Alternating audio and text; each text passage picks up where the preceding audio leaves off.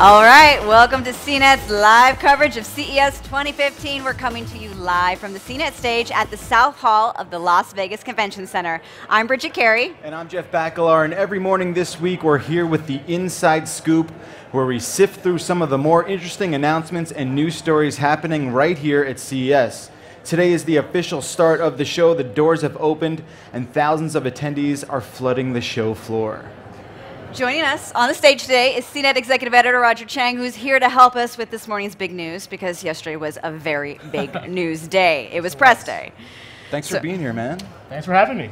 Our pleasure. So, first thing I want to talk about with you right off the bat is uh, is 4K because 4K is actually a legitimate thing now. It's becoming one, yeah. Right? It's, it's been, I feel like it's been a joke for a few years, right? It's sort of just It's- been this punchline to Yeah. the entire Yeah. consumer the industry tele. Yeah. hammers on, we want you to buy 4K TVs. Right. Consumers are like, no. And it's amazing because 4K is already not as much of a joke as 3D was. Yes. Right? Yeah, it's actually, there's, there's some credibility building up behind it, right? Ye- yesterday there was an announcement that Hollywood and the tech companies are all kind of joining together to put out more, more Ultra HD content, which is, that's a good sign that, you know, this isn't a joke anymore. I there's some sort of comfort I take in the fact that these studios Yeah. all agreed on something. Yeah. What do you we're think not, about we're that? not looking at like an H, like an HD DVD, Blu-ray type battle. Right. There's no, there's no, there's no standards war or anything like that. I- think everyone is on the same page for once in, in kind of building up that library of 4K content. So now, uh, do you know off the top of your head like who this, this the cooperating studios were? Uh, Disney and Fox Okay. are uh, two major players, and you've got the big Panasonic, Samsung, a lot of the major TV makers all joining up together, and that's a that's a good sign that we're actually going to see some of this stuff out there. Consumers will actually have something to watch on those really expensive 4K TVs. Right now, speaking of expensive, Yep. you and I were talking a little bit before we went on the air here. 4K is still not something you could sort of get on an impulse. It is not an average Joe purchase, right? Right. You, you do have to have a decent amount of disposable income to buy one of these things. Sure. Um, but I was saying that you know, TCL is uh, it's not a well-known company, but it's a company known for creating cheap TVs, and they're going to come out with a 4K TV this year, and that's going to bring the prices down. I think you know, when when those no-name brands come in and they start shoving those Walmart TVs, you're going to start seeing affordable 4K TVs out So, so TLC is that TCL. TCL? It there. Ah, doesn't matter. Um, just doesn't matter. Uh, so they're going to be like kind of like the Vizio. Yeah, exactly. Yeah, what Vizio used to, be. but then are they going to all of a sudden rebrand and everyone's going to think they're quality stuff? Oh, I guess if they make quality maybe. stuff. I mean, they're uh, the TVs they put out last year were pretty highly reviewed by, by David. Actually, like Right. the, the Roku embedded TVs that TCL makes were actually really really uh, well received. Sure. So all right. On the other side of that, you have LG's OLEDs, which are very impressive, but yeah, they're not going to be at practical prices. I mean, the current one that they have out is around 10 grand in the US. And how big? It, how That's large? like of a s- 65 inches and curved. But we don't have the prices on the ones they're showing today. But when you look at that, you can guess, yeah, the OLED 4Ks with this new special quantum dot technology ain't going to come cheap. I got I love the name. It's Quantum Dot. Yeah. I That- mean, that's what I was I don't know what it means, but it sounds awesome. It awesome, means right? time travel, is what it means. Turn on the TV. There's a time travel option in your remote control. There you go. No more flux capacitor, just quantum dots. I miss the flux capacitor. So do I. So uh, I, I'm also finding a lot of these 4K TVs. They're coming in two uh, flavors: curved and flat. Yeah. What do you think about curved and versus flat? You know, I, I'm, st- I'm still a big believer that curved is a gimmick. I mean, they, they're, the TV manufacturers are desperate to find a reason for you to buy a new TV. And, Right. Uh, I know theoretically it's supposed to be more immersive, but if you've got a bunch of people sitting on the couch watching curved TV, someone's going to have a bad angle. It just feels, it doesn't feel right. Yeah, I'm just trying to wrap my head around a situation where curved TV makes sense in my living room, and I can't do it. No. Right. I don't know. I, I don't mind a bendable one, but only because it just seems cool to like bend it back and forth. to just back and forth. yeah, Your back and forth. accordion flat television. Bend, flat bend. Uh, all right. Speaking of TVs, uh, the, the most popular headline from yesterday has to be Sling Television, Yeah. and what is going on with this sort of uh, twenty dollar a month subscription based live TV streaming service. What are your first thoughts about that? And this is what cord cutters have been asking for for years, right? This is uh, the fact that they have ESPN, CNN. I mean, live sports and live news are really the missing factors if you're a cord cutter, right? You can't get you can't get any sports, you can't get the games you want because most of them are on cable.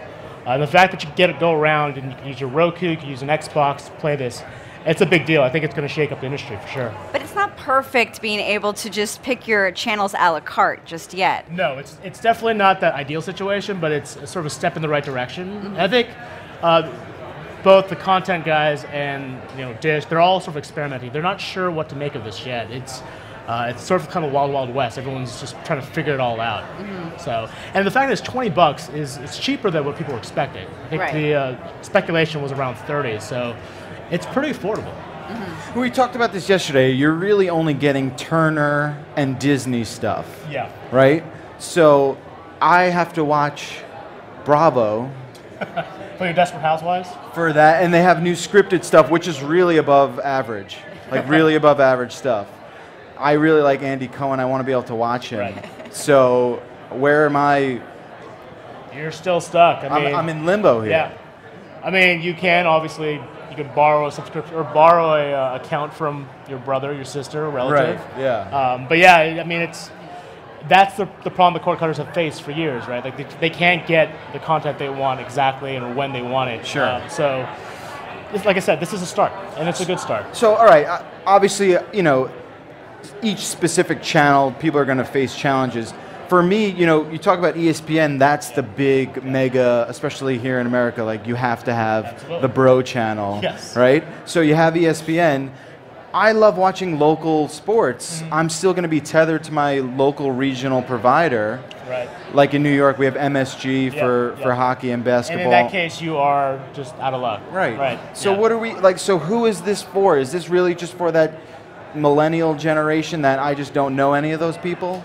I think so. Yeah. I think it's for that generation that grew up never subscribing to cable in the first place. That Right. just sort of went online only, and this for them Right. this is this is something new. This is something different, right? Sure. They've never had the cable TV environment, so like I said, it's a good first step. Right on. Another topic that we've been talking about yesterday is talking about um, you know TV on the web, but there's also now smart TVs, and they're having their own operating systems. In the battle between the operating systems, you have LG's WebOS, Right. good old WebOS is back again, It cannot stay down. and then you have Samsung with Tizen. Yeah. And I'm kind of curious on what you think about where things are going between this battleground. If one is, I guess, better than the other yet, or do we know that yet? No, I don't think we've uh, gotten a good chance to look at the Tizen operating system. I mean, WebOS is about a year old now. Um, you know, people seem to like it. I mean, there's, there was, I think, a cult following for WebOS even back in the Palm days. Um, but it's, it's more a matter of these TV, these companies uh, establishing kind of a, uh, their presence in, in, in, smart, in TVs, unlike smartphones, right? They kind of let, they sort of ceded all their control to Google with Android, and they're, they're trying to avoid that with smart TVs, right? They want, they want their own operating system, they want their own platform that they can run, and so it's a proprietary thing. But then people want Android TV, or then they also just want to watch that Sling TV on an app within that smart TV. Right. So things are getting kind of messy with where can you watch what. I mean, it's, again, it's, it's these companies not, they don't want to be beholden to Google, and that's ultimately why they're not doing Android, which is probably the most logical answer for everyone, right? Just keep it open, keep it consistent, keep it an open standard, but these companies don't ever think like that, so. See, and that's what worries me because I want this universal sort of standard. Right. And then when it gets fragmented with everyone taking a different OS, there's only one loser, and that's us. That's that's technology. Unfortunately, Yeah. fragmentation is definitely just it's part of development of technology. It's, Right. It's what we have to deal with.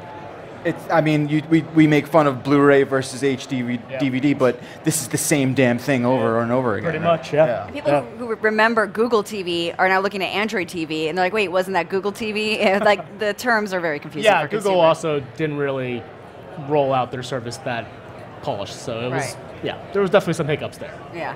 Um, we're talking about in the beginning about content and where you can find 4K content because obviously that's the big question everyone's trying to answer now why you should even buy a 4K TV. Yeah. But there's been also introductions of new ways to make your own 4K. So even if you don't know where to get it, you can at least make your own because so, uh, Sony had a couple of new cameras. They upgraded uh, their other camcorder. It's a $1,000 for. Handycam. Yeah. Yeah. 4K for 1K, they kept saying, which it's clever, but I'm like, 1K is still a lot. Yeah, you still So- said one One- thousand That's dollars. right. Let's not forget that. One K means a thousand bucks. Um, I thought we were also done with like handy cams, right? I didn't think I thought we we were were going to too. come back to that. I thought it was just going to be like this forever. Now they do have 4K on their smartphones, which he kind of threw in the press conference. And don't forget about our Xperia smartphones. So Yeah, I'm pretty sure I have a G3. I'm pretty sure it records like I think it- maybe 3K Maybe. or two and a half Two and a half, K, yeah. something like that. 2.75K, yeah. Right, I think that, How that's good Ks? enough. There's a couple of Ks in there. So thousand dollars for this uh, really aptly named AX33, and then if you want to get into the action uh, camera, which Yep. they used Tony Hawk to help debut, They trotted him out for it, yeah. right? We still don't know how much that's going to cost, No. but you know, let's give them a little bit of credit. There really doesn't seem to be, at least we haven't heard of right away, another action 4K camera. No, no obviously they're, they're going after that white hot GoPro market, uh, but they've now they've got a better story to tell with 4K video. Again, like you said, the price is the real issue, right? Like how affordable is this thing going to be stacked up next to a GoPro? Right. So, like we said, the Handycam is one thousand dollars. The FDR X1000V, which is the action camera, why don't they just call it an action cam, like the Sony Action Cam? yeah.